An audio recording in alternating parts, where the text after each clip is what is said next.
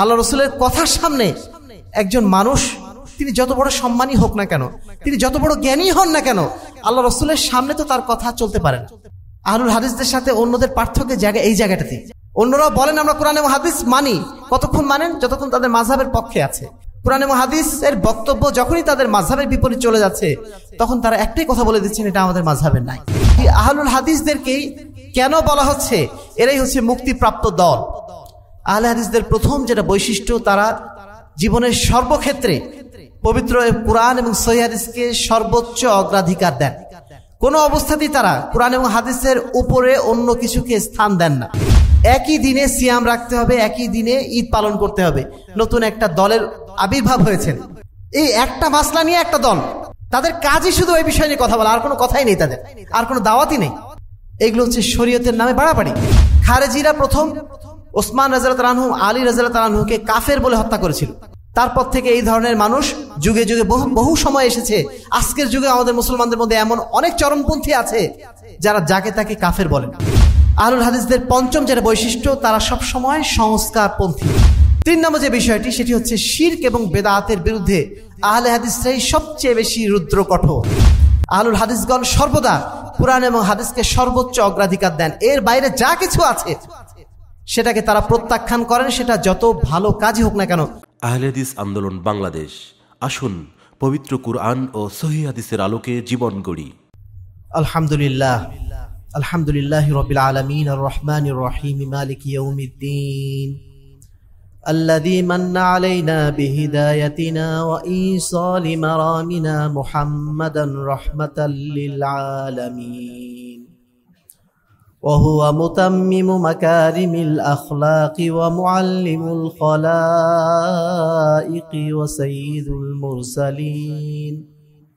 أما بعد فإن خير الحديث كتاب الله وخير الهدى هدى محمد وشر الأمور محدثاتها وكل محدثة بدعة. وكل بدعة ضلالة وكل ضلالة في النار.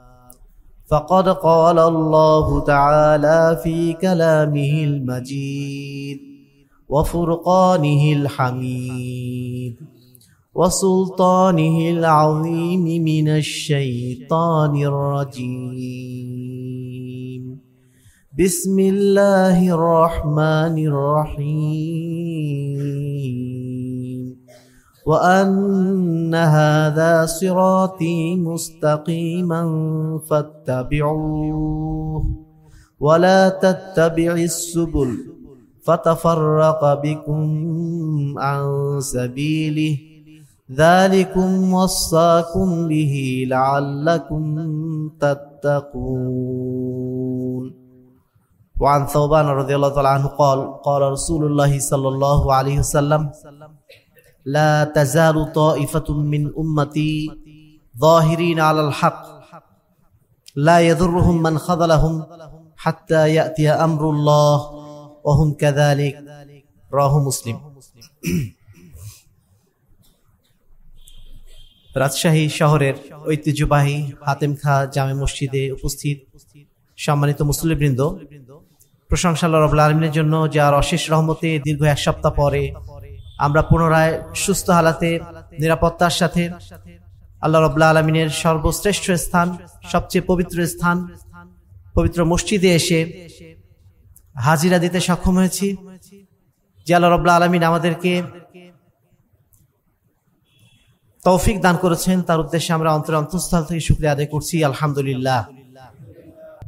দরুদ সালাম বর্ষিত হোক শ্রেষ্ঠ আহমদ মুস্তফা, মুহাম্মদ মুস্তফা সাল্লাহ আলি ইসলামের প্রতি, যিনি আমাদের সামনে আদর্শের জ্বলন্ত প্রতীক, যার আদর্শের অনুসরণের মাধ্যম দিয়েই দুনিয়া এবং আখেরাতে আমরা সর্বোচ্চ সফলতা পেতে পারি।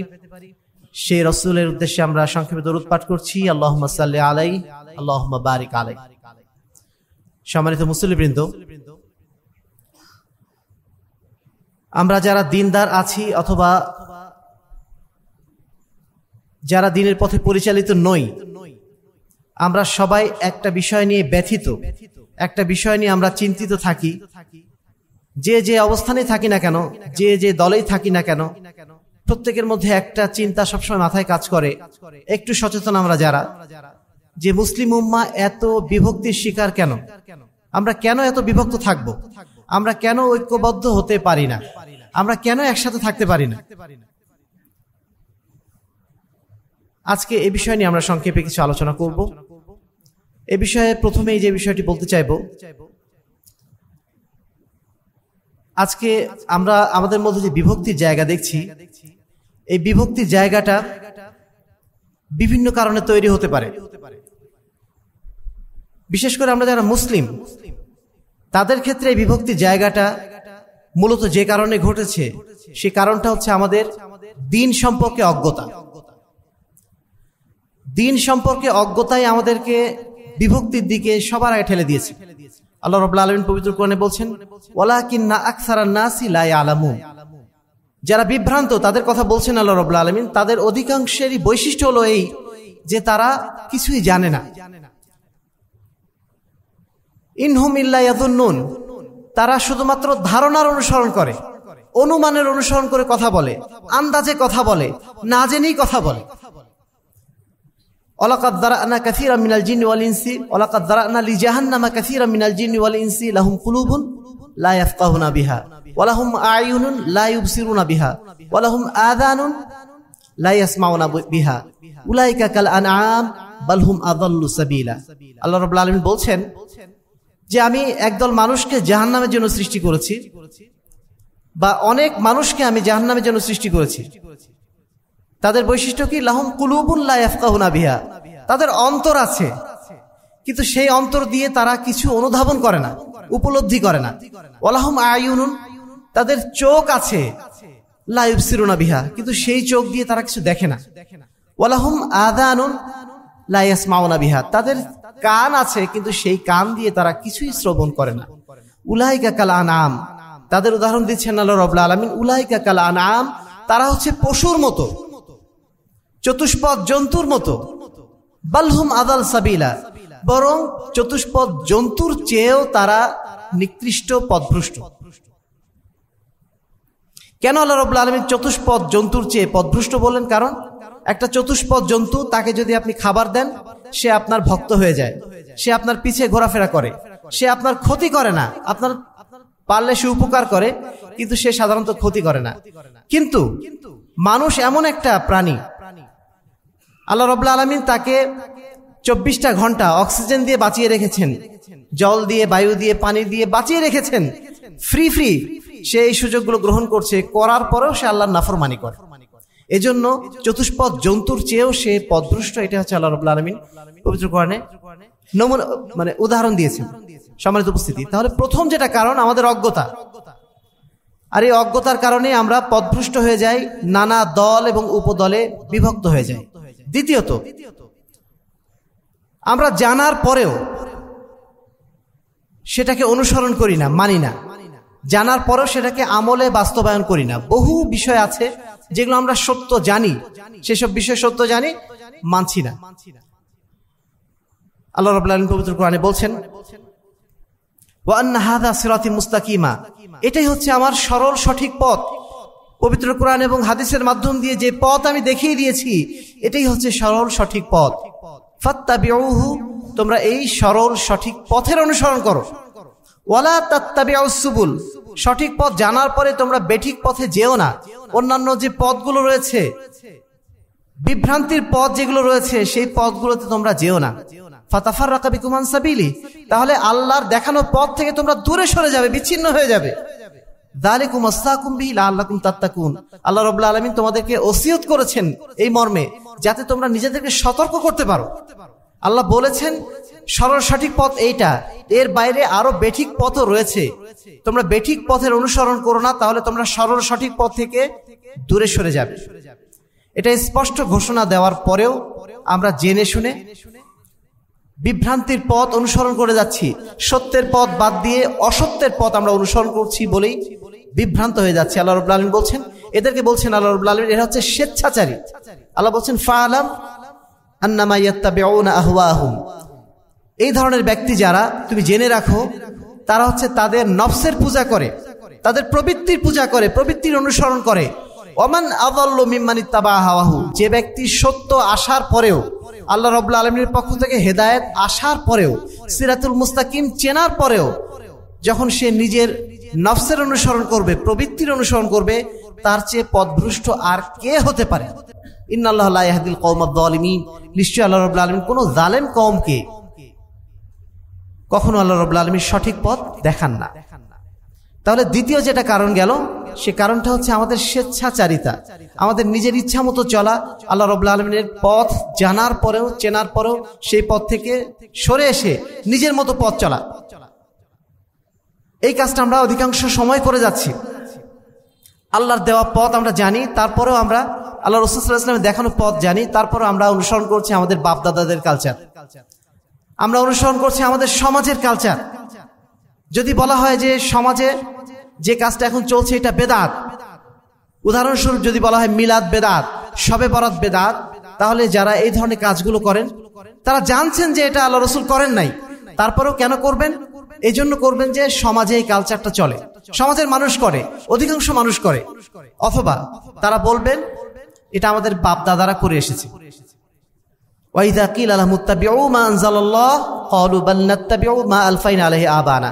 যখন তাদেরকে বলা হয়, তোমরা আল্লাহর পক্ষ থেকে যা নাজিল করা হয়েছে, আল্লাহর বিধান তোমরা অনুসরণ করো, তখন তারা বলে মা আলফাইনা আবানা। বরং আমাদের বাপ দাদারা যেটা করে গেছে, আমরা সেটার অনুসরণ করব। আল্লাহর বিধান কি, ওটা আমাদের অত জানার দরকার নেই, বোঝার দরকার নেই।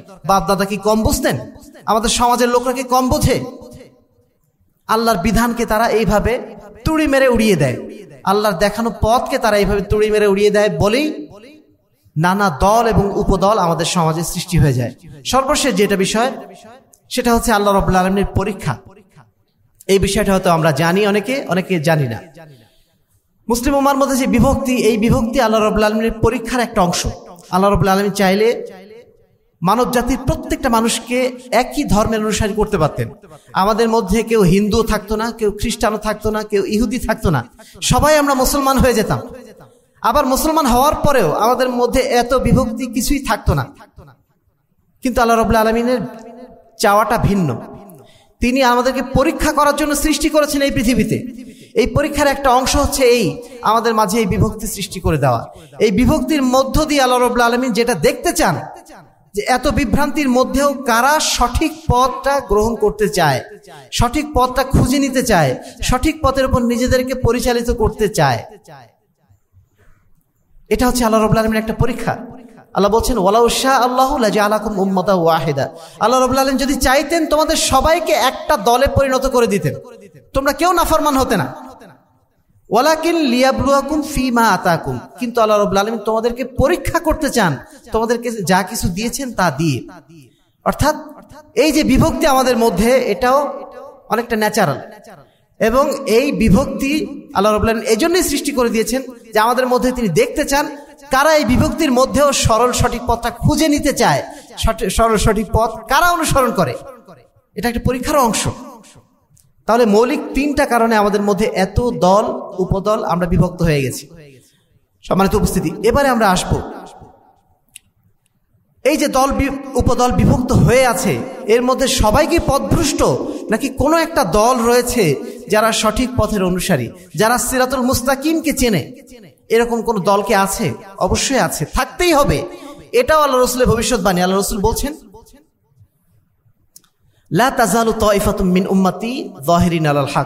আমার উম্মতের মধ্যে একটা দল অবশ্যই হকের উপর বিজয়ী থাকবে, সত্যের উপর বিজয়ী থাকবে, সিরাতুল মুস্তাকিমের উপর তারা পরিচালিত থাকবে। লাহেদুর রহমান খাদালাহম। তাদেরকে যারা অপমানিত করতে চাইবে, তারা কেউ তাদেরকে অপমানিত করতে পারবে না, পদভ্রষ্ট করতে পারবে না। হাত্তা ইয়াতিয়া আমরুল্লাহ, ওহম কাদালিক।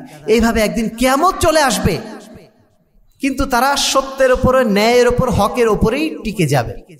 অর্থাৎ একটা দল কেমত পর্যন্ত থাকবে যারা সঠিক পথের উপর চলবে, আল্লাহ রবাহ আলমের দেখানো সিরাতুল মুস্তাকিমের উপরে চলবে। এই দলটি কারা? আজকের আলোচনার বিষয়বস্তু এটাই। আমরা প্রথমেই বলে নেব, এই দলটি সম্পর্কে প্রথম যুগের ওলামায় কেরাম যারা ছিলেন, তারা প্রত্যেকেই একটাই কথা বলে গিয়েছেন ইনলাম ইয়াকুনু আহলাল হাদিস ফালা আদরি মানহুম। তারা যদি আহলুল হাদিসরা না হয়, তাহলে আমরা জানি না যে তারা কারা। তারা যদি আহলুল হাদিসরা না হয়, তাহলে আমরা জানি না তারা কারা। অর্থাৎ, আহলে হাদিসদেরকেই, যারা আহলুল হাদিস, তাদেরকেই ওলামায় কেরাম সবাই ঐক্যমত্যভাবে বলেছেন, এরাই হচ্ছে সেই সিরাতুল মুস্তাকিমের পথের অনুসারী। যদি আল্লাহ রসুল কিন্তু কোন দলের নাম বলে যাননি, আল্লাহ রসুল একটা বৈশিষ্ট্যের নাম বলে গিয়েছিলেন। যারা হক পথের অনুসারী হবে, তাদের একটা বৈশিষ্ট্যের নাম আল্লাহ রসুল বলে গিয়েছেন, মা আনা আলাইহি ও আসহাবি। আমি এবং আমার সাহাবাই কেরাম যেই পথের উপর পরিচালিত থাকবে, যেই নীতির উপরে আছি আমরা, সেই নীতির উপরে, সেই আদর্শের উপর যারা টিকে থাকবে, তারাই হচ্ছে সেই মুক্তিপ্রাপ্ত দল। সেই মুক্তিপ্রাপ্ত দলের ব্যাখ্যায় সমস্ত ওলামাইকেরাম বলছেন, এরা হচ্ছে আহলুল হাদিস। কেন আহলুল হাদিস শব্দটা আসলো? আমাদের মধ্যে অনেকেই প্রশ্ন করে বসতে পারেন যে আহলে হাদিসরাই কেন হকপন্থী হবে? কি বৈশিষ্ট্যের কারণে তাদেরকে হকপন্থী বলা হয়? প্রথম কথা বলি, আহলুল হাদিস শব্দটা কোথা থেকে আসলো? এই শব্দটা বাংলাদেশে তৈরি নয়। এই শব্দটা ভারত উপমহাদেশে তৈরি নয়। এই শব্দের উৎপত্তি আল্লাহ রসুলের যুগের পরবর্তী যুগ থেকেই। যখন থেকে মুসলিম উম্মার মধ্যে নানা ধরনের ফেতনা সৃষ্টি হলো। ফেতনা কীভাবে সৃষ্টি হলো? ফেতনা প্রথম সৃষ্টি হলো ওসমান রাজিয়ালহুর মৃত্যুর পরে। ওসমান রাজিয়ালহু যখন মারা গেলেন, মারা গিয়েছিলেন কাদের হাতে আমরা সবাই জানি, তাই না? ওসমান রাজিয়ালহু কোন কাফের হাতে মৃত্যুবরণ করেছিলেন নাকি মুসলমানের হাতে মৃত্যুবরণ করেছিলেন? মুসলমানের হাতে। পরবর্তী খলিফা আলী রাজিয়ালহু তিনিও কোনো অমুসলিম, অমুসলিমের হাতে নিহত হন নাই। তিনি নিহত হয়েছিলেন মুসলমানদের হাত দিয়ে। এই যারা ওসমান এবং আলী রাজিয়ালকে হত্যা করেছিল, তারা হত্যা করার পরে বলেছিল যে আজকের দুনিয়ায় সবচেয়ে নিকৃষ্ট ব্যক্তিকে আমরা হত্যা করলাম। তারা কিন্তু মুসলমান। ইসলামের তৃতীয় এবং চতুর্থ খলিফাকে তারা বলছে, এরা হচ্ছে সবচেয়ে নিকৃষ্ট মানুষ।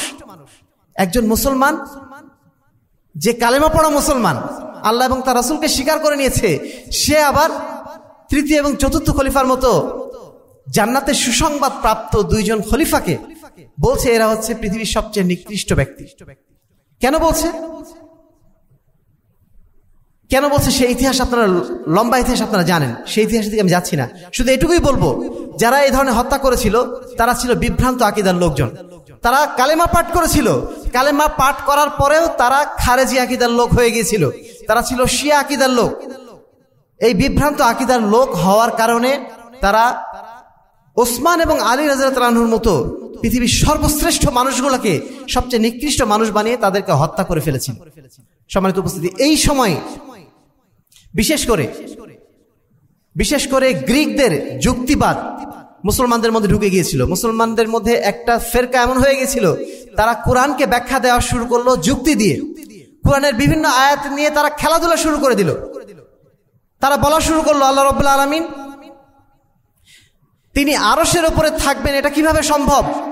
কোরআনে বলা হচ্ছে, আর রহমান আল্লাহ আল্লাহ রবাহ আলমিন আছেন আরসের ওপরে এই কথা কীভাবে সঠিক হতে পারে? আল্লাহ রবাহ আলম তিনি হচ্ছেন অসীম সত্তা। তিনি একটা নির্দিষ্ট জায়গায় কীভাবে থাকবেন? যদি আরসে থাকেন, তাহলে তার উপর তৈরি হবে, নিচ তৈরি হবে, ডান তৈরি হবে, বাম তৈরি হবে। এই ধরনের নানা যুক্তি আবিষ্কার করে তারা বলল, এই আয়াতের অর্থ এটা না। এই আয়াতের অর্থ আলাদা। এইভাবে কোরআনের অর্থকে তারা পরিবর্তন করে ফেলল। তারা বলল, আল্লাহ রবুল্লা আলমী সর্বত্র বিরাজমান। তিনি যেহেতু অসীম সত্তা, অতএব আমরা যা কিছু পৃথিবীতে দেখছি শক্তি, কি বলব? যা কিছু আমরা আমাদের চোখের সামনে দৃশ্যমান দেখতে পাচ্ছি, সবই হচ্ছে আল্লাহর বহিঃপ্রকাশ। আল্লাহ রবুল্লা আলমিনের আলাদা কোনো অস্তিত্ব নেই, কোনো সত্তা নেই। এই ধরনের হাজার হাজার উল্টাপাল্টা কথাবার্তা তারা মুসলিম উম্মার মধ্যে ঢুকিয়ে দিতে শুরু করল। ঠিক এই সময় এদের বিপরীতে একটা দল বের হলো, যারা কোরআনের ব্যাখ্যায় হাদিসকেই ফাইনাল অথরিটি হিসাবে গ্রহণ করল। যারা মনে করল আল্লাহ রসুল যে ব্যাখ্যা দিয়ে গেছেন, ওটাই আমাদের জন্য যথেষ্ট। আমরা যুক্তি দিয়ে কোরআনকে ব্যাখ্যা করব না। এই দলটার নাম হয়ে গেল আহলুল হাদিস। কারণ তার হাদিসের অনুসরণ করত যুক্তিকে বাদ দিয়ে।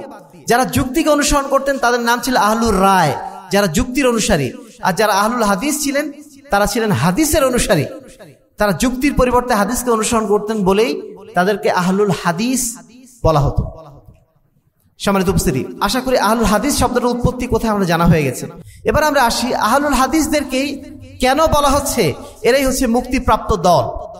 আহলে হাদিসদের প্রথম যেটা বৈশিষ্ট্য, তারা জীবনের সর্বক্ষেত্রে পবিত্র কোরআন এবং সহিহাদিসকে সর্বোচ্চ অগ্রাধিকার দেন।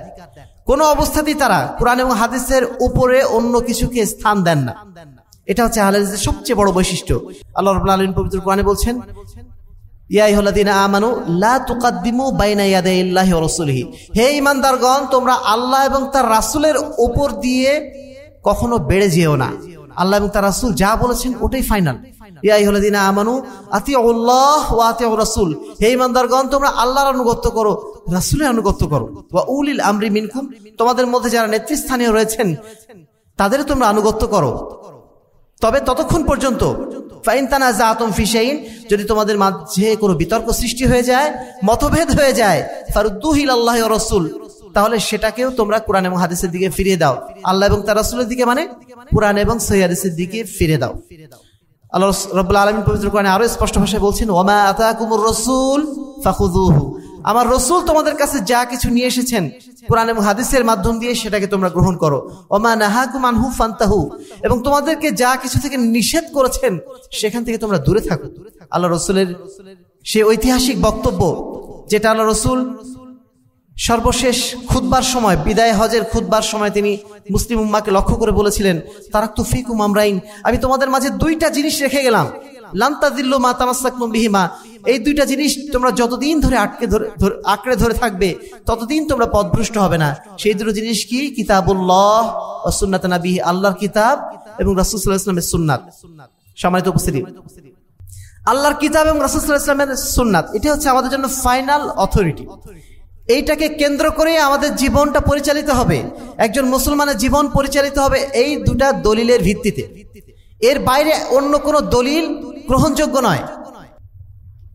ইমাম ইবনু তাইমে বলছেন মানফাত দলিল দল্লা সাবিল যে ব্যক্তি দলিল হারিয়ে ফেলল, সে পথ হারিয়ে ফেলল।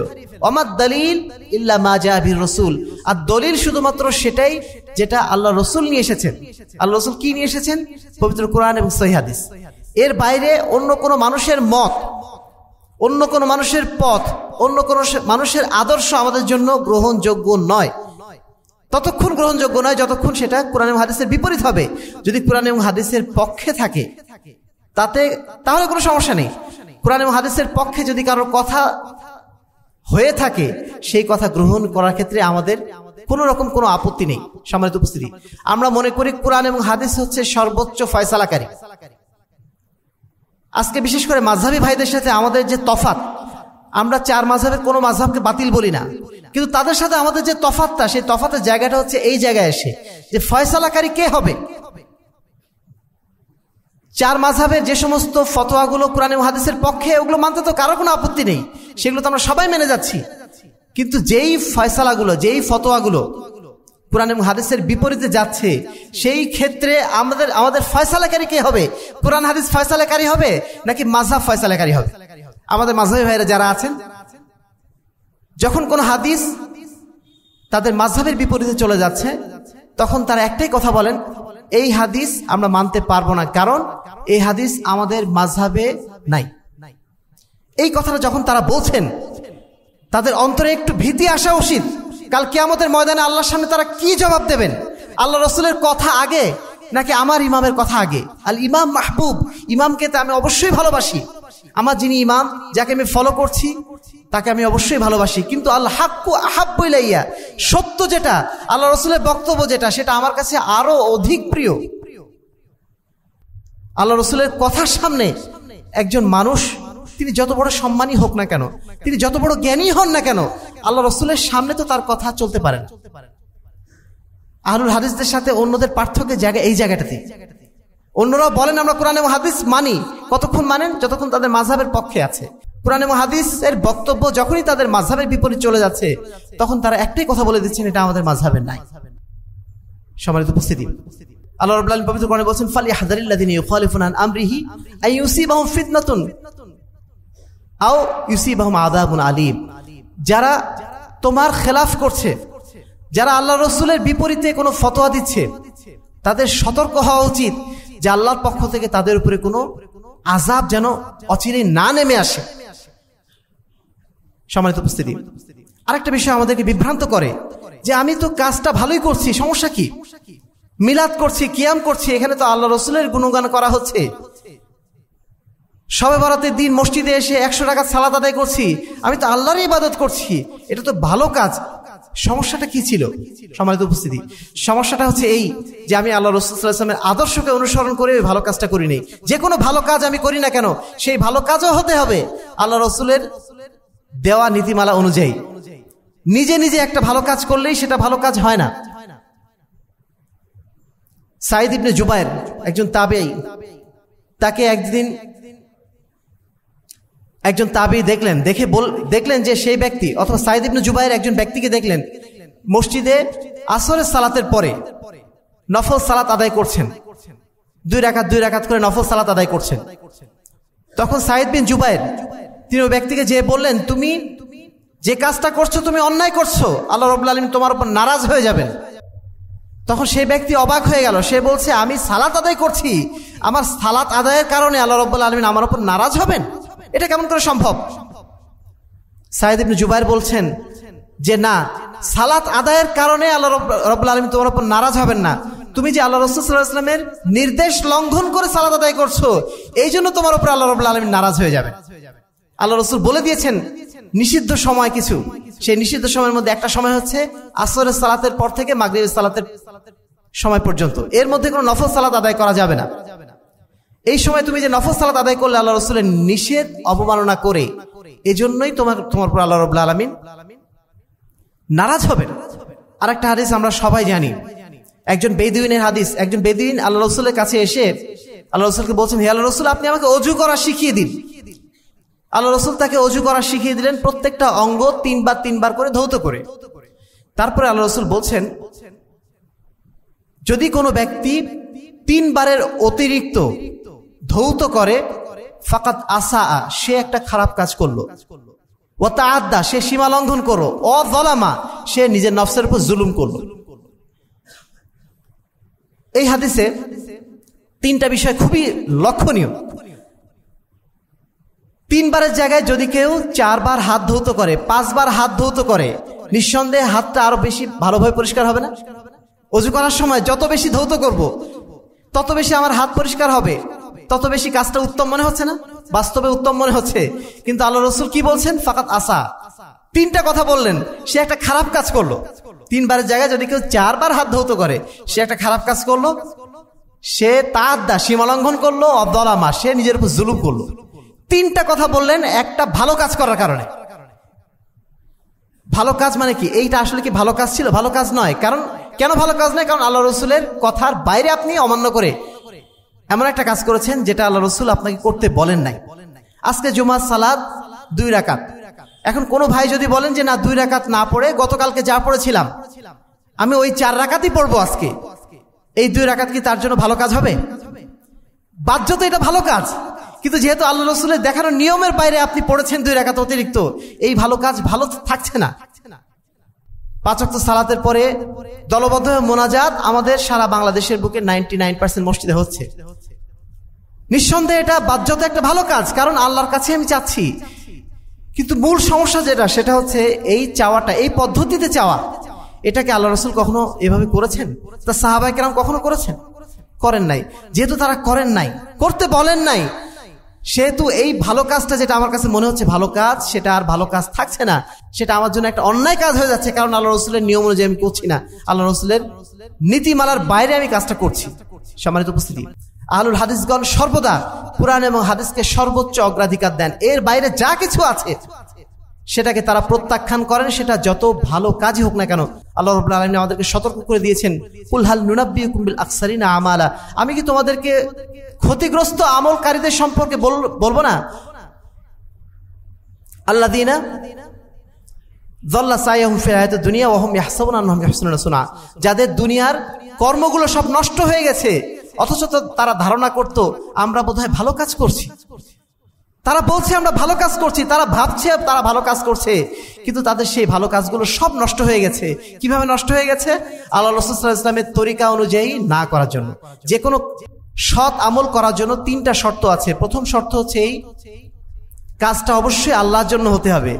দ্বিতীয়ত, সেই কাজটাকে অবশ্যই রাসুসাল্লাহ ইসলামের তরিকায় করতে হবে।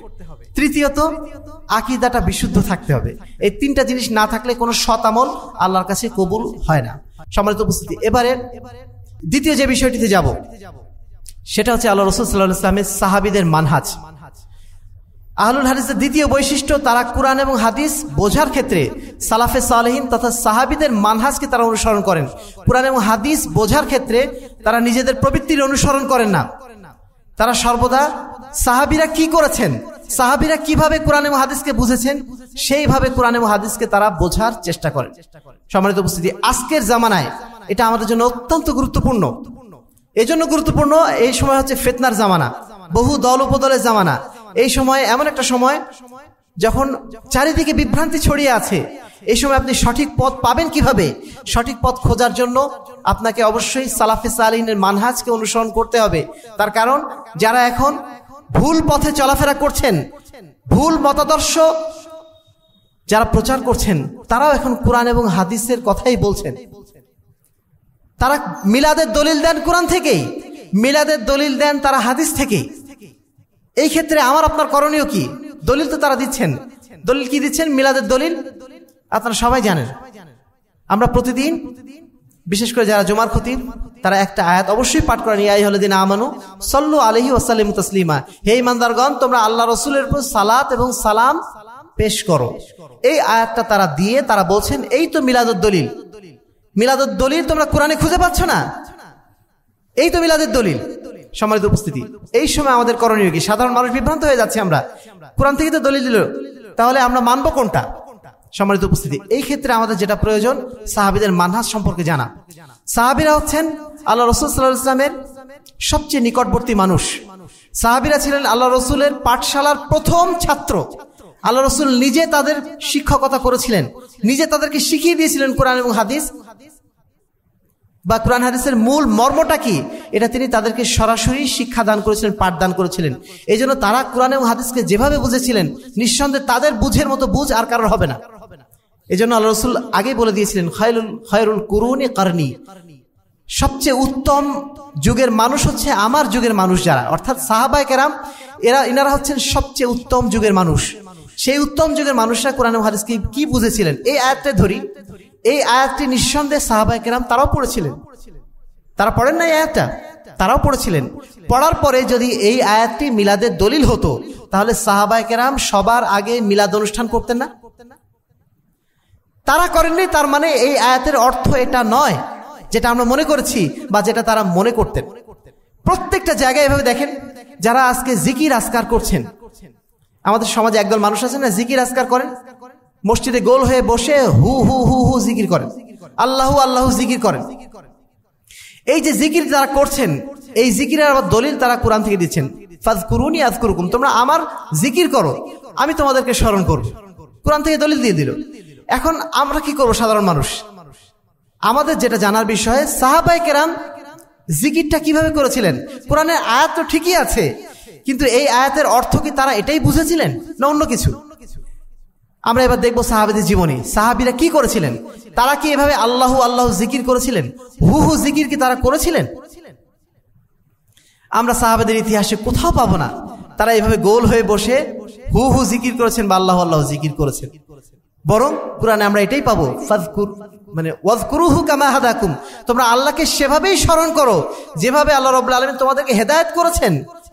সেই জিকির কি? আফজালু জিকির, লা ইলাহা ইল্লাল্লাহ। সর্বোত্তম জিকির হচ্ছে লা ইলাহা ইল্লাল্লাহ পড়া। সুবহানাল্লাহ, আলহামদুলিল্লাহ। ওয়ালা ইলাহা গায়রুল্লাহ, আল্লাহু আকবার। এই যে জিকির আজকারগুলো সবসময় নিজে নিজে পড়বেন। গোল হয়ে বসে পড়তে হবে। এই নীতি যদি সঠিক নীতি হতো, এই নীতি আল্লাহ রসুল চালু করে যেতেন। এই নীতি সাহাবাই কেরাম চালু করে যেতেন। এই নীতি তাবেই নিজাম তারা পালন করে যেতেন। তারা পালন করেন নাই মানে এটা আল্লাহ রসুলের হেদায়ত নয়। সাহাবিদের হেদায়ত এটা নয়। সম্মানিত উপস্থিতি, এইভাবে যদি আমরা প্রত্যেকটা জায়গায় তাকাই, সব জায়গায় দেখতে পাবো। এখন আমাদের কি বলব? বাংলাদেশে দুই লক্ষ আটানব্বই হাজার পীরের মাজার। যেখানে যাই যে এলাকায় যাবেন সেখানেই মাজার। এই যে মাজারগুলো তৈরি হলো, এই মাজার কেন্দ্রিক যে নানা ধরনের এবাদত চালু হয়েছে, এই এবাদতগুলো যারা পালন করছেন তারাও কোরআন থেকে দলিল দেয়। তারা আবার হাদিস থেকে দলিল দেয়। যদি তাদেরকে জিজ্ঞাসা করা হয়, ঠিকই আছে, যদি এই সমস্ত মাজার তৈরি করার প্রয়োজন হতো, তাহলে সাহাবায় কেরাম, তারা আমাদের চেয়ে অনেক উত্তম মানুষ ছিলেন। যারা মাজারের মধ্যে ঢুকে আছে, তাদের চেয়ে বহুগুণ উত্তম মানুষ ছিলেন। সেই মানুষগুলোর মাজার কোথায়? সেই মানুষগুলো মাজারে আমরা কেন যাই না? সেখানে যে কেন আমরা মাথা ঠুকাচ্ছি না? তার মানে নিঃসন্দেহে সাহাবাইকেরামের হেদায়ত এটা ছিল না। সাহাবাইকেরাম কোরআন এবং হাদিস এভাবে বোঝেন নাই, যেভাবে আমাদের এই সমস্ত মানুষগুলো বিভ্রান্ত হয়ে বুঝেছেন। সম্মানিত উপস্থিতি, এইভাবে প্রত্যেকটা জায়গায় আপনি যেখানেই যাবেন, সেখানেই দেখবেন আল্লাহ রসুলের সাহাবিদের মানহাজ যদি আমি ফলো করি, তাহলে নিঃসন্দেহে আমরা সঠিক পথ পেয়ে যাব। এবং কোনটা ভুল, কোনটা ঠিক, সেটা আমরা বুঝে নিতে পারব। সম্মানিত উপস্থিতি।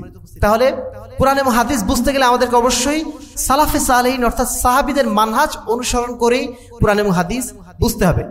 তিন নম্বর যে বিষয়টি, সেটি হচ্ছে শির্ক এবং বেদাতের বিরুদ্ধে আহলে হাদিসরাই সবচেয়ে বেশি রুদ্র কঠোর। আপনি পৃথিবীতে এমন কোন দল, উপদল দেখবেন না যারা শির্কের বিরুদ্ধে এত কথা বলে, যারা তাওহিদের পক্ষে এত কথা বলে, যারা সুন্নাতের পক্ষে এত কথা বলে, বেদাতের বিরুদ্ধে এত কথা বলে, পৃথিবীর অন্য কোন দল উপদলকে আপনি দেখবেন না। আমাদেরকে অনেক ভাই সবসময় বলেন, তোমরা এত শির শির করো কেন? তোমরা এত বেদাত বেদাত করো কেন? তোমাদেরকে খেয়ে দিয়ে কোনো কাজ নেই? একটু ফজিলতের কথা শোনাও। এই কাজ করলে এত কোটি নেকি? ওই কাজ করলে এত কোটি নেকি?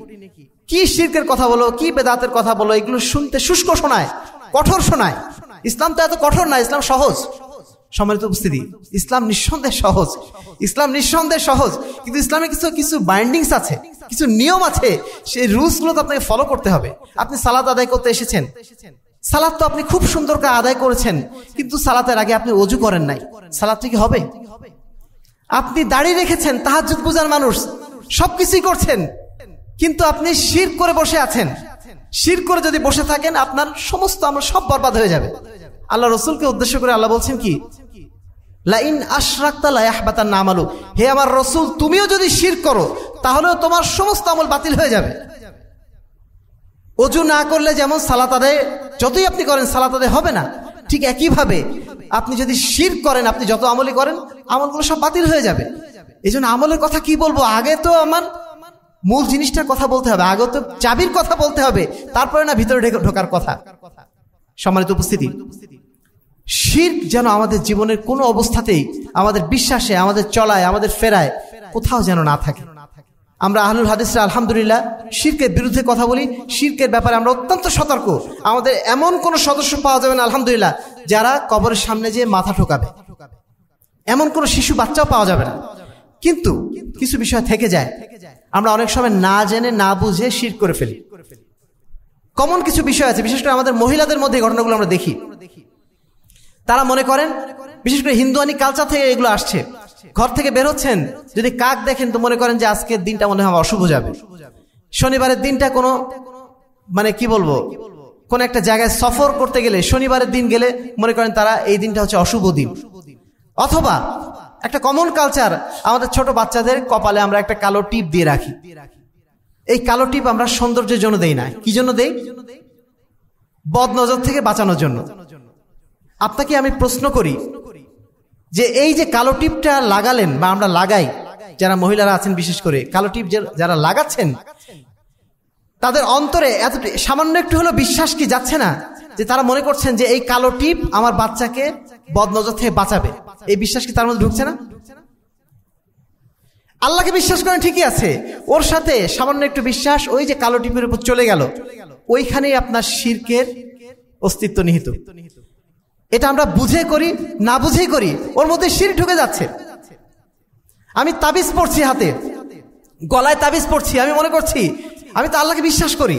এটা পড়ছি কি জন্য? এর মাধ্যম দিয়ে আমি বাঁচতে চাচ্ছি। এখন আপনাদের কাছে প্রশ্ন, এই তাবিজের মধ্যে কি কোনো ঔষধি গুণ আছে? এটা কি ওষুধ? আল্লাহ রসুল ওষুধ নিতে বলেছেন। আল্লাহ রবাহ আলমিন আমাদেরকে অনুমতি নিয়ে দিয়েছেন, লিকুল্লি দা ইন দাওয়া, প্রত্যেকটা অসুখের ওষুধ আছে। ওষুধ হিসাবে আপনি যেটা খাচ্ছেন, ওটা সমস্যা না। সমস্যা হচ্ছে ওইটা যেটা আপনি হাতে বাঁধছেন, ওর মধ্যে কি ঔষধি গুণ আছে যে আপনি ওটা পড়লেন? ঔষধি গুণ নাই। আপনি তারপরে একটা অন্ধবিশ্বাস করছেন যে এই তাবিজ যেহেতু আমার, কবিরাজ পড়ে দিয়েছে অথবা এর মধ্যে একটা এমন শক্তি আছে যে শক্তি আমাকে বিপদ থেকে বাঁচিয়ে দিবে। ওই যে কল্পনা আপনি করলেন, ওই কল্পনার নামই হচ্ছে শির। আল্লাহ রসুল কি বলছেন? মান আল্লাহ তামিমাতান ফাকাত আশরাকা। যে ব্যক্তি তাবিজ ঝুলালো, সে ব্যক্তি শির করল। আমি আপনি মনে করছি আমি তো আল্লাহকে বিশ্বাস করি, সমস্যা কি? সম্মানিত উপস্থিতি, এই জায়গাগুলো আমরা ক্লিয়ার হতে পারছি না আজও পর্যন্ত। সেম কথাটাই কিন্তু মক্কার মুশরিকরাও বলতো। তারা কাবা ঘরের সামনে তিনশো ষাটটা মূর্তি রেখে সেখানে একই কথা বলতো যে, আমরা তো এদের পূজা করি না। আমরা এদের সামনে এমনি মাথা ঠুকাচ্ছি বটে, কিন্তু আমরা মূলত পূজা করি তো আল্লাহ। মানা আবুদুহুমিল্লা জুলফা। আমরা তাদের এবাদত করছি এই কারণে যে, তারা আমাদেরকে আল্লাহর কাছাকাছি পৌঁছে দেবে। মূলত আমরা আল্লাহরই ইবাদত করি। কিন্তু এদেরকে আমরা মাধ্যম বানাচ্ছি। আমাদের যুগের মানুষরাও যারা কবরে মাথা ঠুকায় একই কথা বলে যে আমরা তো পীর পূজা করছি না। আমরা তার কাছে মাথা ঠুকাচ্ছি কেন? এরা হচ্ছে অলিয়া উলিয়া এরা হচ্ছে বিশেষ ক্ষমতার অধিকারী। এদের কাছে যদি আমি মাথা নোয়াই, এরা আমাদের কাছে আল্লাহর কাছে সুপারিশ করবে আমাদের জন্য। এই জন্য তাদের কাছে আমরা মাথা ঠুকাচ্ছি। সমানিত উপস্থিতি শিখ থেকে অত্যন্ত সাবধান। নিশ্চয়ই যে ব্যক্তি শির করবে আল্লাহ রবুল্লা আলমী তার জন্য জান্নাতকে আরাম করে দেবেন। কেন হারাম করবেন? এই সমস্ত কোশ্চিন করার কোনো জায়গা নেই। আল্লাহ রবুল্লাহ হারাম করে দিয়েছেন, ব্যাস হারাম করে দিয়েছেন। আমার আপনার কাজ হচ্ছে, সামিয়ানা ওয়াতানা শুনলাম, মেনে নিলাম। এখানে কোনো যুক্তি উপস্থাপন করা, এগুলোর কোনো সুযোগ আমাদের নেই। সমানিত উপস্থিতি, ঠিক অনুরূপী একটা পাপ হচ্ছে বেদাত। পৃথিবীতে যতগুলো পাপ রয়েছে, আপনি চুরির কথা বলেন, জেনার কথা বলেন, হত্যার কথা বলেন, সমস্ত পাপের উপরে সবচেয়ে বড় পাপ হচ্ছে শির, দ্বিতীয় পাপ হচ্ছে বেদাত। শির্কের পরের পাপের নাম হচ্ছে বেদাত। বেদাত মানে কি? শরীয়তের মধ্যে নতুন নতুন কোনো বিষয় ঢুকিয়ে দেওয়া। ইয়াকুম মুহদাসাতিল উমুর, আল্লাহ বলছেন, তোমরা শরীয়তের মধ্যে নতুন নতুন জিনিস আবিষ্কার করা থেকে বিরত থাকো। ফাইন্না কুল্লা মুহদাসাতিম বিদা কেননা প্রত্যেকটা নতুন জিনিস বেদাত। অকুল্লা বিদাতিন দলালা। প্রত্যেকটা নতুন জিনিস আমাদেরকে পথভ্রষ্ট করে দেয়। মিলাদের কথা বলেছি আমরা সয়বরাতের কথা বলেছি, কুলখানির কথা বলেছি, চল্লিশের কথা বলেছি, যত নতুন নতুন এবাদত যেগুলো আল্লাহ রসুল করতে বলেন নাই, সবগুলো এক কথায় বাতিল। মানে আমিলা আমালান লাইসা আলহি আমরুনা ফওয়ারাদুন যে ব্যক্তি এমন কোনো আমল করল, যে আমলের বিষয়ে আমার কোনো নির্দেশনা নেই, সেই আমল সম্পূর্ণ বাতিল।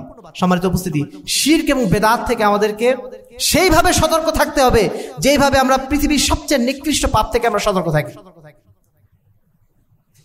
তিন নম্বর যে বিষয়, চার নম্বর যে বিষয়টি, সেটি হচ্ছে আহলুল হাদিসদের চতুর্থ বৈশিষ্ট্য। আহলুল হাদিসটা, তারা সবসময় মধ্যম পন্থার অনুসারী। তারা সবসময় মধ্যম পন্থা অবলম্বন করেন, শরীয়তের ক্ষেত্রে কোনো বাড়াবাড়ি করেন না। আজকে মুসলিম উম্মার মধ্যে যত ফেতনা, যত দল, উপদল, তার মধ্যে একটা বড় কারণ হচ্ছে বাড়াবাড়ি। শরীয়তের কোনো বিধান নিয়ে বাড়াবাড়ি কেমন ভাবে যেমন একদল মানুষ রয়েছেন যারা মানুষকে কাফের বলে বেড়ান, যাকে তাকে কাফের বলেন অমুক কাফের হয়ে গেছে, তমুক কাফের হয়ে গেছে। এদেরকে বলে তাকফিরি গোষ্ঠী। প্রথম উৎপত্তি হয়েছিল খারেজিদের মাধ্যম দিয়ে। খারেজিরা প্রথম ওসমান রাজাল তালানহু আলী রাজাল তালানহুকে কাফের বলে হত্যা করেছিল। তারপর থেকে এই ধরনের মানুষ যুগে যুগে বহু বহু সময় এসেছে। আজকের যুগে আমাদের মুসলমানদের মধ্যে এমন অনেক চরমপন্থী আছে, যারা যাকে তাকে কাফের বলেন অত্যন্ত সাবধান। আহলুল হাদিস, আকিদ মানহাজে যারা অনুসারী, তারা কখনো কাউকে ব্যক্তির নাম ধরে কখনো কাফের তারা বলেন না। ব্যক্তির নাম ধরে তখন কখনো তারা বলেন না, এই লোকটা মুশ্রিক। ব্যক্তির নাম ধরে তারা বলেন না, এই লোকটা বেদাত। তারা বলেন যে এই লোকটার মধ্যে শির্ক আছে, এই লোকটার মধ্যে কুফরি আছে, এই লোকটার মধ্যে বেদাত আছে। কিন্তু আপনি যখন কাফের বলছেন, তখন একটা হুকুম লাগিয়ে দিচ্ছেন। কাফের হুকুম লাগিয়ে দিয়েছেন মানে কি? একজন মুসলমান যখন কাফের হয়ে যায়, তার মানে কি? সে মুরতাদ। মুরতাদ হওয়া মানে কি? তাকে হত্যা করাটা এখন ওয়াজিব হয়ে গেছে। এই হুকুম লাগানোর অধিকারী আপনি নন। সম্মানিত উপস্থিতি, এইভাবে শরীয়তের বিভিন্ন মাসলা মাসাইলের ক্ষেত্রেও আমরা বাড়াবাড়ি করছি। যেমন একই দিনে সিয়াম রাখতে হবে, একই দিনে ঈদ পালন করতে হবে। নতুন একটা দলের আবির্ভাব হয়েছেন। এই একটা মাসলা নিয়ে একটা দল। তাদের কাজই শুধু ওই বিষয় নিয়ে কথা বলা, আর কোনো কথাই নেই তাদের। আর কোনো দাওয়াতই নেই। এগুলো হচ্ছে শরীয়তের নামে বাড়াবাড়ি। আরেক দল মানুষ, ইদানিং আপনারা দেখেছেন, ইমাম মাহদি নিয়ে বাড়াবাড়ি করছে, দাজ্জাল নিয়ে বাড়াবাড়ি করছে, আখেরুজ জামান নিয়ে বাড়াবাড়ি করে। বিশেষ করে আমাদের তরুণ সমাজের মধ্যে এখন এটা নিয়ে কি বলা যায়, একটা ট্রেন্ড চলছে। নতুন নতুন বিষয়গুলো নিয়ে তারা খুব মজা পান। গাজতুল হিন্দ। তারপরে খোরাসানের কালো ঘোর সাওয়ার কথাগুলো শুনলেই তারা মনে হয় একটা কল্পনার জগতে চলে যান। সম্মানিত উপস্থিতি, এই সমস্ত বিষয়গুলো আল্লাহ রসুলাম ভবিষ্যৎবাণী হিসেবে করে গেছেন। কিন্তু এর অর্থ এই না যে ইমাম মাহাদি দুই বছর পরে আসবেন, দাজ্জাল পাঁচ বছর পরে আসবে, ঈসা আলাহিসাম কিছুদিন পরে আসবে। এই সমস্ত সময় গণনার কথা আল্লাহ রসুল আমাদেরকে কখনোই বলেন নাই। আল্লাহ রসুলকে একজন সাহাবি এসে জিজ্ঞাসা করল আল্লাহ রসুল, কেয়ামত কবে হবে? আল্লাহ রসুল ইসলাম তাকে জিজ্ঞাসা করলেন, ফামাদা আদাত তালাহু কেয়ামতের কথা শুনে তুমি কি করবা? তুমি কেয়ামতের জন্য কি প্রস্তুতি নিয়েছো? আমাদের কাজ এটা না যে আমরা কেয়ামতের দিন খুঁজে বেড়াবো। আমাদের কাজ এইটা না, কোথায় দাজ্জাল এসেছে, কোথায় ইমাম মাহাদি এসছে, সেগুলো খুঁজে বেড়ানো। যদি আমার ইমান থাকে, তাহলে ইমাম মাহাদি পৃথিবীর যেই প্রান্তেই থাকুক না কেন, আমি তাকে চিনে ফেলব। যদি আমার মধ্যে ইমান না থাকে, তাহলে ইমাম মাহাদি যদি এখানেও সালাত আদায় করান তবু আমি তাকে চিনতে পারব না। সবচেয়ে বড় দরকার আমাদের ইমানটাকে পরিশুদ্ধ করা ইমানটাকে শির্ক মুক্ত করা, আমাদের আমলগুলো বেদাত মুক্ত করা। তাহলে ইনশাল্লাহ যখন যিনি আসবেন, আমরা চিনে ফেলব। এটার জন্য আমাদেরকে এত পেরেশানির দরকার নেই, এত প্রস্তুতির দরকার নেই, এত উল্টাপাল্টা কথাবার্তার দরকার নেই। আল্লাহ রসুলাম আমাদেরকে সতর্ক করে দিয়ে বলেছেন ইয়াকুমল গুলু দিন। তোমরা দিনের ব্যাপারে বাড়াবাড়ি থেকে বিরত থাকো। ফাইন্নামা আহলা কামান কানা কবলাকুমাল গুলুফিদ্দিন কেননা ইতিপূর্বে যত জাতি ধ্বংস হয়েছে, তাদের ধ্বংস হওয়ার একটা বড় কারণ হচ্ছে দিনের ব্যাপার নিয়ে বাড়াবাড়ি করা। দিনের একটা বিষয় নিয়ে বাড়াবাড়ি করা। সমাজ উপস্থিতি, একটা বিষয় আপনাদেরকে বলে নেই। অনেকে আবার মনে করেন, এটাও ঠিক, ওটাও ঠিক। এক ধরনের লোক আছেন না, এটাও ঠিক, ওটাও ঠিক। এই পথের কথার নাম কিন্তু আবার মধ্যম পন্থা নয়। এই পথের নাম আবার ভুল পন্থা। মধ্যম পন্থা মানে সঠিক পন্থা অবলম্বন করা। রফলিয়াদেন করাও ঠিক রফলিয়াদেন না করাও ঠিক। যদি কেউ কথা বলেন, এ কথা কি ঠিক? রফলিয়াদের করাও ঠিক, না করাও ঠিক। একদল মানুষ অতিরিক্ত মধ্যমপন্থী হতে যে, তারা বলছেন এটাও ঠিক, ওটাও ঠিক। এটা কি কখনো সম্ভব? সহি ঠিক, জয়ীফ হাদিসও ঠিক। এটা কি বলা বলা সম্ভব? রফল এদাইন করা অবশ্যই সুননাথ রফল এদাইনের বিপরীত যে হাদিসগুলো এসেছে, সেই হাদিসগুলো জয়ীফ হাদিস। সই হাদিসের বিপরীতে যদি হাদিস আসে, আপনাকে সই হাদিসকেই অনুসরণ করতে হবে। এর নাম বাড়াবাড়ি না। এর নাম সঠিক পন্থা অবলম্বন। কিন্তু যেই ক্ষেত্রে আপনার বাড়াবাড়ি করা সমীচীন নয় সেই সমস্ত বিষয়গুলো নিয়ে আপনারা বাড়াবাড়ি করবেন আমরা বাড়াবাড়ি করব না। যেমন এই তাকফিরের বিষয় নিয়ে তাবদিয়ের বিষয় নিয়ে, অমুক বেদাহাতি তমুক বেদাহাতি এই সমস্ত কথাবার্তা বলা, এগুলো কোনো মুসলমানের জন্য শোভা পায় না। একজন মুসলমান কখনো বাড়াবাড়ি বা চরমপন্থী সে করতে করতে পারে না। সময় উপস্থিতি, আহলুল হাদিসদের পঞ্চম যেটা বৈশিষ্ট্য, তারা সব সময় সংস্কারপন্থী। আল্লাহ রসুল বলছেন, বাদাল ইসলাম গরিবান। ইসলাম শুরু হয়েছে কম সংখ্যক মানুষদের মাধ্যম দিয়ে। ওসাইয়াউদু কামা বাদা ইসলাম আবার ফিরে যাবে কম সংখ্যক মানুষদের মধ্যে। ফাতু বালিল গোরাবা। আর এই কম সংখ্যক মানুষদের জন্যই রয়েছে সুসংবাদ। সাহাবাইকরাম জিজ্ঞাসা করলেন হিয়াল্লা রসুল, এই গোরাবা যাদের কথা বলছেন, এই গোরাবা কারা? আল্লাহ রসুল বলছেন আল্লাহ দিন নাস। তারা হচ্ছে সেই সমস্ত ব্যক্তি যারা মানুষের মধ্যে যে সমস্ত বিষয় নষ্ট হয়ে গেছে, দিনের যে বিষয়গুলো নষ্ট হয়ে গেছে, সেগুলোকে যারা সংশোধন করে, তারাই হচ্ছে সেই গোড়াবা আলুল হাদিসরা কখনোই বলেন না যে আমরা নির্ভুল। তারা নিজেদেরও সংস্কার কামনা কেন তারা যেমন সমাজকে সংস্কার করেন, সমাজের ভুলগুলো দেখে তারা না দেখার ভান করেন না। তারা বলেন না যে চলছে চলুক না। আমি তো ভালো আছি, চলছে চলুক না। এই ধরনের কথা তারা বলেন না। কেন বলেন না? কারণ তারা জানেন, মুসলিম উম্মার উত্থানই ঘটানো হয়েছে। লীল আমরি বিল মারুফ আন্নাহি আল মুনকার। মানুষকে সৎ কাজে নির্দেশ দেওয়ার জন্য, অসৎ কাজ থেকে নিষেধ করার জন্য। ইয়াই হল দিন আমন, কু আনফুসাকুম আহলিকুম নারা। হে ইমানদারগণ, তোমরা নিজেদেরকে বাঁচাও জাহান্নামের আগুন থেকে এবং তোমাদের পরিবার পরিজনকে বাঁচাও। আমি নিজে একা জান্নাতে যাব, এটা আল্লাহ রসুল আমাদেরকে বলে দেন নাই। আমি নিজে যেমন জান্নাতে যাব, অবশ্যই আমাকে আমার যারা সাথী রয়েছেন, তাদেরকেও জান্নাতে নিয়ে যাওয়ার জন্য চেষ্টা করতে হবে। এটাই ইসলামের নীতি। এমনকি যদি আমার মধ্যেও কোনো ভুল থেকে থাকে, আমার ভুলটাও আমাকে সংশোধন করতে হবে। সর্বাবস্থায় আমরা সংশোধনকামী। আহলুল হাদিসদের মধ্যে একমাত্র আপনারা বা আমরা এই বৈশিষ্ট্য পাবো। যে তারা সবসময় সংশোধনকামী।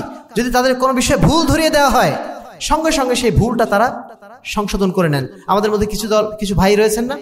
যারা বলেন অনেকে মনে করেন যে আমাদেরকে অবশ্যই রাষ্ট্র ক্ষমতা ইসলাম নিয়ে যেতে হবে। এটা হচ্ছে এবাদত। এটা কি সঠিক নিয়ম নাকি ভুল নিয়ম হচ্ছে? রাষ্ট্র ক্ষমতায় ইসলাম নিয়ে যাওয়ার দায়িত্ব আল্লাহ রবুল্লাহ আমাদেরকে দেন নাই। রাষ্ট্র ক্ষমতায় ইসলাম নিয়ে যাবে কারা? যিনি রাষ্ট্র ক্ষমতায় দায়িত্বশীল আছেন, তার এটা দায়িত্ব। আজকে যিনি রাষ্ট্র ক্ষমতায় আছেন, তার দায়িত্ব রাষ্ট্রে ইসলাম প্রতিষ্ঠা করা। আমি আপনি সাধারণ মানুষ, আমার দায়িত্ব এটা না যে আমি যে রাষ্ট্র ক্ষমতায় ইসলাম প্রতিষ্ঠা করব। আমার পক্ষে সম্ভব না। আমার দায়িত্ব কতটুকু? আমার গণ্ডির মধ্যে। আমার যতটুকু ক্ষমতা রয়েছে, সেই ক্ষমতার মধ্যে ইসলামটাকে প্রতিষ্ঠা করা। আমার দায়িত্ব রয়েছে আমার পরিবারের উপরে। পরিবারের মধ্যে ইসলাম প্রতিষ্ঠা করা, এটা আমার দায়িত্ব। আমার যারা অধীনস্থ রয়েছে, তাদের মধ্যে ইসলাম প্রতিষ্ঠা করা আমার দায়িত্ব। বাকিদের মধ্যে ইসলামের দাওয়াত আমি দেব। তাদেরকেও বলব, তাদের জায়গা থেকে ইসলাম প্রতিষ্ঠা করার জন্য। সরকারকেও আমরা দাওয়াত দেব যে আপনারা আপনাদের জায়গা থেকে ইসলাম প্রতিষ্ঠা করেন। রাষ্ট্রে ইসলাম প্রতিষ্ঠা করেন। যারা বিচারক আছেন, তাদেরকে আমরা বলব যে আপনারা বিচার ব্যবস্থায় ইসলামকে নিয়ে আসেন। কিন্তু এখন যে নতুন কনসেপ্ট এসেছে যে কনসেপ্ট হচ্ছে আমাকেই ক্ষমতায় যেতে হবে। আমাকে কেন ক্ষমতায় যেতে হবে? আমার দলকে কেন ক্ষমতায় যেতে হবে? যিনি ক্ষমতায় আছেন, তিনি কেন ইসলাম প্রতিষ্ঠা করবেন না? তিনিও যে একজন মুসলমান। আমাদের দাবি হবে তাদের কাছে। তারা যদি ইসলাম প্রতিষ্ঠা না করেন, তাহলে দায়ী হবেন কারা? আমরা দায়ী হবেন তারা দায়ী হবেন? তারা দায়ী হবেন। আমরা আমাদের দায়িত্ব পালন করেছি কীভাবে? তাদেরকে আমরা দাওয়াত দিয়েছি যে আপনারা ইসলাম প্রতিষ্ঠা করেন ক্ষমতায় আপনারা আছেন। এখন আপনাদের সুযোগ, আপনারা ইসলাম প্রতিষ্ঠা করেন। যদি আপনারা ইসলাম প্রতিষ্ঠা না করেন ক্ষমতায় যেও, তাহলে আল্লাহর কাছে আপনারা দায়ী হয়ে যাবেন। কিন্তু আমাকে ক্ষমতায় যেতে হবে তাকে সরিয়ে। এই যে কনসেপ্ট এই কনসেপ্ট হচ্ছে নতুন কনসেপ্ট উনিশশো চল্লিশ সালের আগে এই ধরনের কনসেপ্ট নিয়ে কেউ কখনো কথা বলেন নাই। সম্মানিত উপস্থিতি। আমাদেরকে অবশ্যই রাষ্ট্র ক্ষমতায় ইসলাম প্রতিষ্ঠার জন্য চেষ্টা চালাতে হবে, কিন্তু তার অর্থ এই না এই বর্তমান প্রচলিত সিস্টেমের মাধ্যম দিয়ে যে আমাকে ক্ষমতা গ্রহণ করতে হবে, ইসলামের রাজনীতি ক্ষমতার রাজনীতি না, ইসলামের রাজনীতি হচ্ছে আদর্শের রাজনীতি। কোন নবী ক্ষমতা পাওয়ার জন্য সংগ্রাম করেন নাই, প্রত্যেকটা নবী সংগ্রাম করেছেন মানুষের মধ্যে আদর্শ প্রতিষ্ঠা করার জন্য। মাত্র চারজন নবী ক্ষমতায় ছিলেন, বাকি এক লক্ষ চব্বিশ হাজার পয়গম্বরের মধ্যে কেউ ক্ষমতায় ছিলেন না। তার মানে ক্ষমতা টার্গেট না। আল্লাহ রবাহ আলম এই টার্গেট আমাদের কাউকে দেন নাই। দুঃখজনক বিষয় হচ্ছে, আমাদের মধ্যে একদল ভাই মানহাজ না বোঝার কারণে সাহাবাই কেরামের মানহাজ না বোঝার কারণে ইসলামকে ভুল বুঝে, ইসলামটাকে তারা একদম পলিটিসাইজ করে, ইসলামটাকে মানে ফুল পলিটিক্স বানিয়ে দিয়েছে। ইসলাম মানে পলিটিক্স না পলিটিক্স ইসলামের একটা অংশ। ইসলাম মানে আমার ব্যক্তি জীবন, ইসলাম মানে আমার পারিবারিক জীবন, ইসলাম মানে আমার অর্থনৈতিক জীবন, ইসলাম মানে আমার সামাজিক জীবন, ইসলাম মানে আমার রাষ্ট্রীয় জীবন, সবই ফার্স্ট টু লাস্ট সবই ইসলামী জীবন। কিন্তু তারা শুধুমাত্র রাষ্ট্র ক্ষমতাটাকে ইসলাম বানিয়ে ফেলেছে। সম্মানিত উপস্থিতি, আমরা তাদের উদ্দেশ্যে বিনীত অনুরোধ করব, সাহাবা ইকরামের মানহাজকে অনুসরণ করার চেষ্টা করুন। আমরা যারা আহলুল হাদিস হয়েছি, আহলুল হাদিস হওয়ার পরেও যদি ওই ধরনের বিভ্রান্ত আকিদায় চলে যায়, এর চেয়ে আফসোসের আর কিছু হবে না। সম্মানিত উপস্থিতি, আমরা যদি ভুল করে থাকি, আমাদেরকে অবশ্যই সংস্কার করতে হবে। আহলুল হাদিসদের সেই সুযোগ রয়েছে আহল হাদিসদের মানহাজি ওটা, যে তারা নিজেদের সংস্কার করে নেয়। আমাদের মধ্যে অনেক ভাই রয়েছেন, এই আকিদার মধ্যে আছেন। তাদের প্রতি আমাদের অনুরোধ থাকবে, আপনারা যেন নিজেদের সংস্কার করে নেই। সংস্কার করার সময় এখনও আমাদের বাকি রয়েছে, আমরা যেন ভুলের ওপর টিকে না থাকি, যেটা এখন আমাদের অনেক ভাইয়ের মধ্যে হয়ে গেছে। জিদ করে নেই আমরা। করে আসছি, এতদিন ধরে করে আসছি, বাপদাদার মধ্যে করে আসছি, ওটা ছাড়বো না। অথচ এটা আহলে হাদিসদের নীতি না। আহলে হাদিস যখনই বুঝতে পারে কোনো বিষয় ভুল হয়ে গেছে, সঙ্গে সঙ্গে সেই ভুল থেকে তারা ফিরে আসেন। সর্বশেষ যে বিষয় সেটা হচ্ছে আহলুল হাদিসটা, সবসময় তারা জামাতবদ্ধ থাকেন, তারা বিশৃঙ্খল ভাবে থাকেন না। আল্লাহ রসুল হাদিস, ইদা কুন্তুম সালাসাতান ফি সাফারিন ফালিউ আমিরু আহাদাহুম। তোমাদের মধ্যে তিনজনও যদি সফরে যাও তবু সেখানে একজনকে নেতা বানিয়ে নিও। ইসলাম চায় একটা সুশৃঙ্খল সমাজ। আহলুল হাদিসরা কখনো বিশৃঙ্খলভাবে ঘোরাফেরা করে না। তারা সব সময় সুশৃঙ্খল থাকতে চায়, একটা লিডারশিপের আন্ডারে থাকতে চায়, একটা নেতৃত্বের অধীনে সুশৃঙ্খলভাবে তারা চলাফেরা করে। এটি হচ্ছে ইসলামের নীতি। এই নীতি তারা সাধ্যমতো অনুসরণ করার চেষ্টা করেন। সম্মানিত উপস্থিতি, আলোচনার শেষ লগ্নে এসে আমি আবারও সেই প্রথম দিকে ফিরে যাব, যে আজকে মুসলিম উম্মার মধ্যে যে বিভক্তি, এই বিভক্তির সবচেয়ে বড় যেটা কারণ, আমাদের মধ্যে অজ্ঞতা। আমরা ইসলাম সম্পর্কে, দুনিয়ার সবকিছু সম্পর্কে জানি, ইসলাম সম্পর্কে কিছুই জানি না। যে জিনিসটা আমাকে আখেরাতে মুক্তি দেবে, যে জিনিসের জ্ঞান আমাকে আখেরাতে মুক্তি দেবে, সেই জ্ঞান সম্পর্কে আমরা অত্যন্ত গাফেল। দুনিয়াতে কয়টা পয়সা বেশি পাওয়া যাবে, সেইটার জন্য আমরা কত ধরনের জ্ঞান অর্জন করছি? কত ধরনের পেশার জড়িত হওয়ার জন্য কত রকম জ্ঞান আমরা অর্জন করছি, কত ওয়ার্কশপে অংশগ্রহণ করছি? কিন্তু ইসলাম সম্পর্কে জানার জন্য আমরা কি প্রচেষ্টা চালাচ্ছি? কিচ্ছু না। তাওহিদ সম্পর্কে জানার জন্য সুন্না সম্পর্কে জানার জন্য আমরা কি প্রচেষ্টা চালিয়েছি? কয়টা দিন আমরা কোচিং করেছি? এক ঠেলার বিসিএস এর জন্য। সারাটা জীবন তো পার হয়ে গেল আমাদের। কতগুলো কোচিং এ ভর্তি হলাম? কই, ইসলাম সম্পর্কে জানার জন্য কয়টা কোচিং এ ভর্তি হয়েছি? আমি, যারা উপস্থিত মুসলিম রয়েছেন, তাদের সবার প্রতি বিনীত অনুরোধ জানাব। আমরা যেন জ্ঞান অর্জনের বিষয়ে প্রত্যেকেই মনোযোগী হই। সাধ্যমতো জ্ঞান অর্জন করার চেষ্টা করি, কারণ এই জ্ঞান আমাদেরকে কাল কেয়ামতের ময়দান আল্লাহর কাছে মুক্তি দেবে। আমাদের যদি শেষ গন্তব্য, চূড়ান্ত গন্তব্য হয় আল্লাহর কাছেই, আমাদের শেষ গন্তব্য যদি হয় আখেরাত, তাহলে সেই আখেরাতের জন্য আমাদের চেষ্টা করা দরকার। আল্লাহ রব্লা আলম বলছেন কুল নাফসিন জায়কাতুল মাউত। প্রত্যেকটা মানুষ অবশ্যই মৃত্যুর স্বাদ গ্রহণ করবে।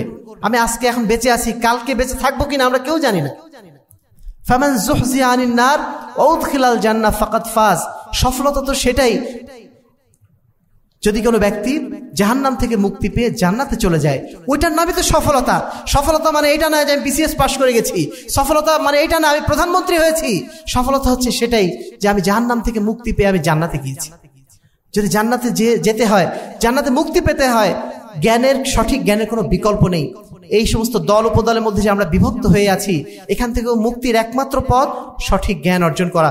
পবিত্র কোরআন এবং সৈয়াদিসের পথে ফিরে আসা, এই পথে ফিরে আসার জন্যই আমাদের আহ্বান, আসুন পবিত্র কোরআন এবং সৈয়াদিসের আলোকে জীবন গড়ি, সকল বিধান বাতিল করো ওহির বিধান কায়েম করো। সম্মানিত উপস্থিতি, এই জ্ঞানের বিকাশ ঘটানোর জন্যই, এই জ্ঞানের চর্চা ঘটানোর জন্যই আহলে আন্দোলন বাংলাদেশ বাংলাদেশ আহলে যুব সঙ্গে নাম আপনারা শুনেছেন। আলহামদুলিল্লাহ, তারা সারা দেশব্যাপী তারা কাজ করে যাচ্ছেন। এই মসজিদে এক সময় খুদ্া দিতেন। আহলে হাদিস আন্দোলনের মোতারা আমির জামার ডক্টর আসাদুল্লাহ গালিব, আপনারা তাকে অনেকেই চেনেন। আমি তার সন্তান। আজকে ফার্স্ট এই মসজিদে আমার খুদ্া দেওয়া। সেই দিনের কথা মনে পড়ছে, যখন আমি ছোটবেলায় এখানে আসতাম, বাবার হাত ধরে। তো উনিশশো সালে, সাল থেকে এই দাওয়াত নিয়ে কিন্তু তিনি সারা দেশে কিন্তু ঘুরে বেড়াচ্ছেন। আসুন পবিত্র কোরআন এবং সৈয়াদের আলোকে জীবন গড়ি। আসুন সঠিক জ্ঞানটা জানি, সঠিক জিনিসটা জানি। এই সঠিক জিনিসটা জানানোর জন্যই কিন্তু এই মেহনত। এই মেহনতের জন্যই আপনাদের সামনে এখন বইপত্র প্রচুর। বইপত্রগুলো পড়াশোনার চেষ্টা করুন। আপনাদের সামনে একটা লাইব্রেরি নতুন হয়েছে। আমরা আসার আগে এখানে গেলাম। এই লাইব্রেরিগুলো থেকে আপনারা সঠিক জ্ঞানের বইগুলো নিয়ে আসুন, পড়ার চেষ্টা করুন। প্রতিদিন একটা সময় হলো অন্তত আধা ঘণ্টার সময় হলো জ্ঞান অর্জনের পিছনে একটু সময় দিন। এভাবে যদি আমরা সময় দিতে পারি ইনশাল্লাহ মুসলিম উম্মা আজকে যে গাফিলতির মধ্যে ডুবে আছে, যে চারিদিক দিয়ে নানা ধরনের লাঞ্ছনার মধ্যে ডুবে আছে, এই লাঞ্ছনা থেকে ইনশাল্লাহ তারা একদিন মুক্তি পেয়ে যাবে। সেজন্যই আমরা সাধ্যমতো আপনাদের কাছে দাওয়াত পৌঁছে দিচ্ছি। আল্লাহ রবুল্লা আলমিন আমাদের সকলকে ইসলামের সঠিক জ্ঞান অর্জন করা তৌফিক দান করুন। যাবতীয় দল এবং উপদল থেকে মুক্ত হয়ে আল্লাহ রবাহ আমাদেরকে পবিত্র কোরআন এবং সৈয়াদিসের সনিষ্ঠ অনুসারী হওয়ার তৌফিক দান করুন। আল্লাহ রবাহ আমাদের সকলকে কাল কিয়ামতের ময়দানে তার মুক্তিপ্রাপ্ত বান্দাদের মধ্যে অন্তর্ভুক্ত করে নিন। আল্লাহ আমিন। ওয়াখির দাওয়ানা আলহামদুলিল্লাহ রবিল আলমিন।